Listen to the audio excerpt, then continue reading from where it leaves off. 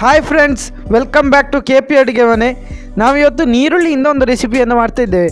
ಅದು ಎವರ್ಗ್ರೀನ್ ನೀರುಳ್ಳಿಯ ರೆಸಿಪಿಯಾದ ನೀರುಳ್ಳಿ ಬಜ್ಜಿಯನ್ನು ಮಾಡ್ತಾ ಇದ್ದೇವೆ. ಈಗ ಮೊದಲಿಗೆ ನೀರುಳ್ಳಿಯ ಸಿಪ್ಪೆಯನ್ನು ತೆಗೆದುಕೊಳ್ತೇನೆ.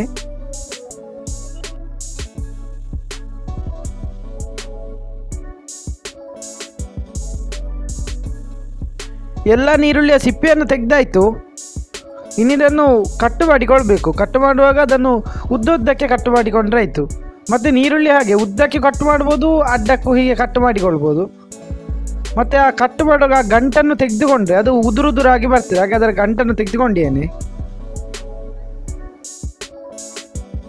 ಎಲ್ಲ ನೀರುಳ್ಳಿಯನ್ನು ಕಟ್ ಮಾಡಿಕೊಂಡಾಯಿತು. ಈ ಕಟ್ ಮಾಡಿದ ನೀರುಳ್ಳಿಗೆ ರುಚಿಗೆ ತಕ್ಕಷ್ಟು ಉಪ್ಪನ್ನು ಹಾಕಿಕೊಳ್ಬೇಕು. ನಾನೊಂದು ನಾಲ್ಕು ಸ್ಪೂನ್ ಹಾಕಿದೊಂಡೇನೆ ಅದಕ್ಕೆ ಸ್ವಲ್ಪ ಮೆಣಸಿನ ಹುಡಿಯನ್ನು ಹಾಕಿಕೊಳ್ತೇನೆ. ಈಗ ಇದನ್ನು ಚೆನ್ನಾಗಿ ಮಿಕ್ಸ್ ಮಾಡಿಟ್ಟು ಅರ್ಧ ಗಂಟೆ ಇಡಬೇಕು. ಈಗ ಇದಕ್ಕೆ ಬೇಕಾದ ಹಸಿಮೆಣಸನ್ನು ಕಟ್ ಮಾಡಿಕೊಳ್ಳುವ. ಹಸಿಮೆಣಸನ್ನು ಕಟ್ ಮಾಡುವಾಗ ಕೈಗೆ ಸ್ವಲ್ಪ ಎಣ್ಣೆ ಪಸೆ ಮಾಡಿದರೆ ಕೈ ಬೆಂಕಿ ಬರುವುದಿಲ್ಲ. ಈಗ ಇದನ್ನು ಸಣ್ಣಕ್ಕೆ ಹಚ್ಚಿಕೊಳ್ತೇನೆ. ಹಸಿಮೆಣಸು ಅಂತ ಹೇಳೋದು ಆಪ್ಷನ್ ಅಲ್ಲ ಬೇಕಿದ್ದರೆ ಹಾಕ್ಬೋದಷ್ಟೇ, ಹಾಕದೆ ಕೂಡ ಮಾಡ್ಬೋದು. ಬೇವಿನ ಸೊಪ್ಪಿದ್ರೆ ಅದನ್ನು ಕೂಡ ಹಚ್ಚಿ ಹಾಕಿಕೊಳ್ಬೋದು. ನನಗೆ ಇಲ್ಲಿ ಸಿಗಲಿಲ್ಲ ಈಗ ವಿಡಿಯೋ ಮಾಡೋ ದಿವಸ.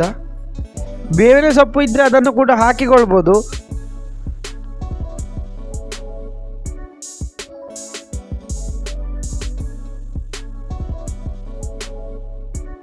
ನೀರುಳ್ಳಿಗೆ ಉಪ್ಪು ಮೆಣಸಿನ ಹುಡಿ ಹಾಕಿ ಅರ್ಧ ಗಂಟೆ ಹೊತ್ತಾಯಿತು. ಇದಕ್ಕೀಗ ಕಟ್ ಮಾಡಿದ ಹಸಿಮೆಣಸು ನಾಲ್ಕು ಸೌಟು ಕಡಲೆ ಹುಡಿಯನ್ನು ಹಾಕಿಕೊಳ್ತೇನೆ.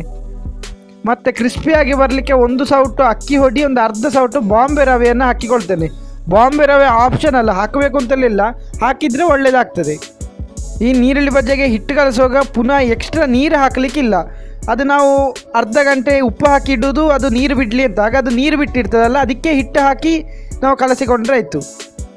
ಬಿಸಿಯಾದ ಎಣ್ಣೆಗೆ ಈಗ ಕಲಸಿಟ್ಟ ನೀರುಳ್ಳಿ ಬಜ್ಜೆ ಹಿಟ್ಟನ್ನು ಈ ರೀತಿಯಾಗಿ ಬಿಟ್ಟುಕೊಡ್ತೇನೆ.